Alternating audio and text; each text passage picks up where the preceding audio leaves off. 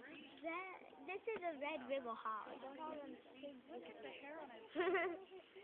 It's called the red river hog.